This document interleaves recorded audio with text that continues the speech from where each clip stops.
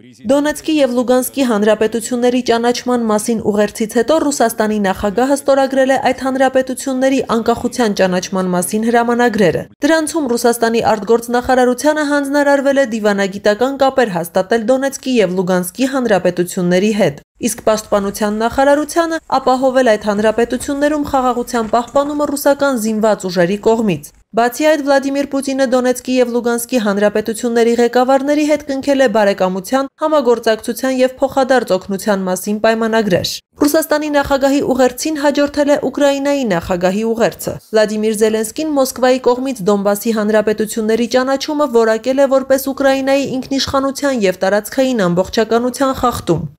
Ուկրաինայի միջազգային ճանաչված սահմանները մնում են նույնը չնայած Ռուսաստանի գործողություններին։ Մոսկվայի որոշումների հետևանքների ամբողջ պատասխանատվությունը ընկնում է Ռուսաստանի վրա։ Դոնեցկի եւ Լուգանսկի բռնազավթված շրջանների անկախության ճանաչումը կարող է նշանակել Ռուսաստանի միակողմանի ելք Մինսկի համաձայնագրերից եւ նորմանդական քարյակի որոշումների անտեսում։ Մենք մեր հողում ենք, ոչ ոքից եւ ոչնչից չենք վախենում, ոչ ոքի ոչինչ պարտք չենք եւ ոչ ոքի ոչինչ չենք տա։ Ուկրաինայի նախագահի խոսքով Կիևն իրեն վերապահում է անհատական եւ հավաքական ինքնապաշտպանության իրավունք։ Ստեղծված իրավիճակի պատճառով Զելենսկին նորմանդական քարյակի արտակարգ հանդիպում է հրավիրել։ Պուտինի կողմից Դոնեցկի եւ Լուգանսկի հանրապետությունների ճանաչումը առիթ է դարձել նաեւ ՄԱԿ-ի անվտանգության խորհրդի արտակարգ նիստի։ ՄԱԿ-ի գլխավոր քարտուղարի ներկայացուցիչ Ռոզմարի Դիկարլոն հայտարարել է, որ Ռուսաստանի որոշումը կարող է հանգեցնել ինչպես տարածաշրջանային, այնպես էլ գլոբալ հետևանքների։ Ըստ ՄԱԿ-ում Միացյալ Նահանգների մշտական ներկայացուցիչ Լինդա Թոմաս Գրինֆիլդի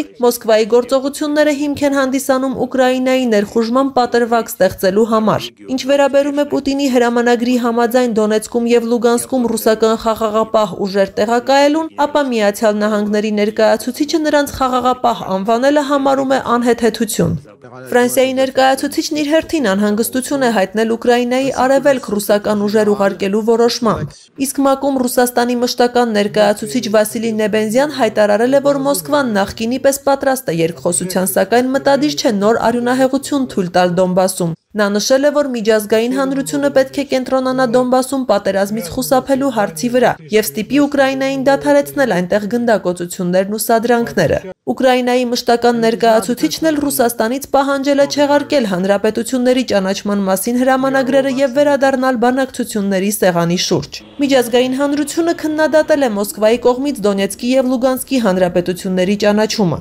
Ռուսաստանի այս որոշումը դատապարտել են Գերմանիան, Մեծ Բրիտանիան, Ավստրիան, Ֆինլանդիան, Վրաստանը, Եվրամիությունը, ՆԱՏՕ-ի գլխավոր քարտուղարը։ Ֆրանսիայի նախագահ Էմանուել Մակրոնը Եվրամիությանը կոչ է արել Ռուսաստանի դեմ պատժամիջոցներ սահմանել։ Իսկ Միացյալ Նահանգների նախագահն արդեն կոնկրետ քայլերի է դիմել։ Ջո Բայդենը պատժամիջոցները սահմանել Դոնեցկի եւ Լուգանսկի նկատմամբ արգելելով Միացյալ Նահանգների քաղաքացիների կողմից նոր ներդրումները Դոնեցկում եւ Լուգանսկում եւ ցանկացած տեսակի առևտուրը Դոնբասի հանրապետությունների հետ։ Սակայն ոչ բոլոր երկրներն են քննադատել Վլադիմիր Պուտինի որոշումը։ Վենեսուելան, Կուբան, Նիկարագուան, Հարավային Օսիան եւ Աբխազիան ողջունել են Մոսկվայի այս քայլը։ Իսկ Սիրիայի նախագահ Բաշար Ասադը հայտարարել է, որ Դամասկոսը պատրաստ է Ռուսաստանի հետևից ճանաչել Դոնեցկի եւ Լուգանսկի հանրապետությունները։ Արցախի նախագահ Արայիկ Հարությունյանը եւս ողջունել է Վլադիմիր Պուտինի որոշումը։